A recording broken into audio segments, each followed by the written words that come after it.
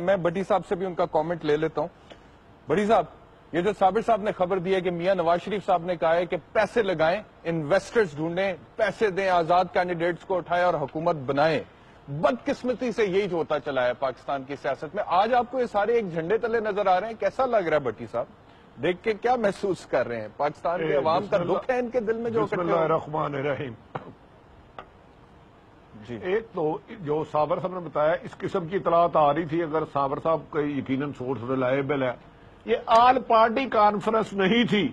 آل party conference تھی، party پرانی پھٹ جاتا ہے نا چیز، اس کو کہتے ہیں پھٹ گئی ہے چیز۔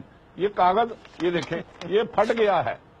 تو لہذا وہ پارٹی پرانی تھی، یہ جو آل پارٹی کانفرنس ہے اس میں ہر لیڈر نے اپنے اپنے حصے کا بولنا چاہا۔ ایک تو میں اس آل پارٹی پرانی جو ہے کانفرنس اس کو کہتا ہوں مولانا فضل الرحمان خان محمود خان چکری اسود یارولی ان تینوں کو مسلم لیگ نون اپنی جیتی ہوئی سیٹوں سے الیکشن ضرور لڑائے تاکہ یہ اپوزیشن میں آئے اور انہیں حقیقی اپوزیشن کا پتہ چلے۔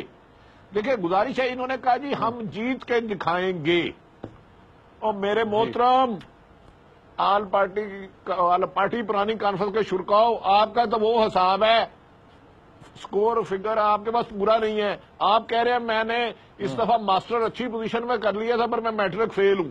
اور بھائی نہل آدمی ہو اگر میٹرک فول ہو تو پہلے میٹرک پاس کرو پھر ایف اے کرو پھر بی اے کرو پھر ماسٹر کرنے جانا۔ تو ان کی باتوں میں تو مجھے کوئی حقیقت نظر نہیں آئی۔ ہاں ایک حقیقت تھی شیری رحمان اور ایسن اقبال نے نیلے بلو سوٹ پہنے ہوئے تھے اور ساتھ اچھی گفتگو کر رہے تھے۔ پھر مولانا فضل الرحمان کے ایک بندے نے گفتگو کرنا چاہیے انہیں نہیں کرنے دی گئی۔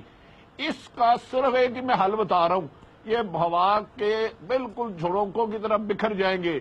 اگر احتساب کا عمل شفاف تیز ہو جائے پچھلے پندرہ سالوں میں جس جس نے لوٹا ہے یہ صرف اس لوٹے ہوئے مال کو بچیے یہ سارے اکٹھے ہوئے ہیں انہیں پتہ نہ یہ سپیکر بنا سکتے ہیں نہ یہ وزیر اعظم بنا سکتے ہیں نہ وزیر اعلیٰ بنا سکتے ہیں۔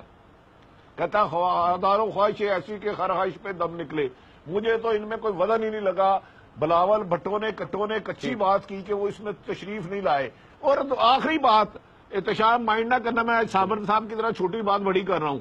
اور بھائی پیپلز پارٹی بیوقوف ہے ردائی دے گی۔ پندرہ سال یہ تیسری حکومت آ رہی ہے سندھ میں ان کی۔ گیارہواں سال لگ گیا ان کو۔ پندرہ سال وہ حکومت کریں گے اگر یہ ٹنیور پورا ہوتا ہے۔ اتنا بیوقوف آصف علی زرداری صاحب نہیں ہے۔ میں نے کچھ ملاقاتیں ہوئی ہیں نہایت صاحب سمجھدار آدمی ہیں۔ ان کے کہنے پہ ان بیوقوفوں کے کہنے پہ وہ دے دیں گے جو نون لیگ ادھر اپوزیشن ہے اسمد یار والی محمود حاجی کا وجود ہی کوئی نہیں ہے جماعت اسلامی کا وجود ہی کوئی نہیں ہے۔ ایم ایم اے تو ایل ایل بی بھی نہیں رہی۔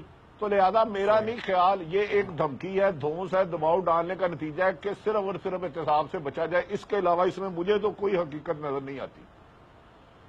بالکل ٹھیک۔ اچھا ہم پاکستان کے عوام بھی دیکھ رہے ہیں نا صابر صاحب اور بھٹی صاحب۔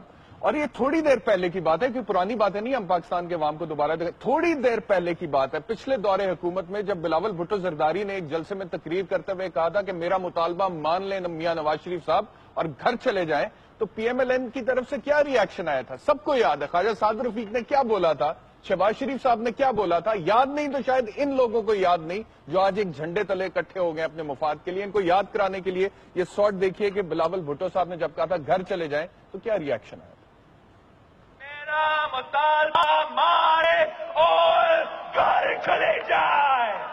نواز شریف نے پرویز مشرف کے مارشلوں کے آگے سرنگو نہیں ہوا وہ بیبی بلاول کے سامنے سرنگو ہوں گے۔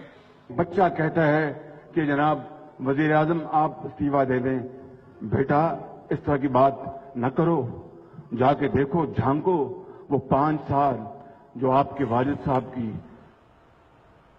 کل تک میاں شہباز شریف صاحب یہ بھی کہتے تھے کہ آصف علی زرداری جو ملک کی دولت لوٹ کر پاکستان سے باہر لے کے گیا اگر مجھے منتخب کیا تو میں اس دولت کو واپس لے کر آؤں گا۔ آج وہ ایجنڈا کہاں گیا؟ میاں شہباز شریف صاحب، پاکستان مسلم لیگ نواز سے ان کے لیڈران سے میرا سوال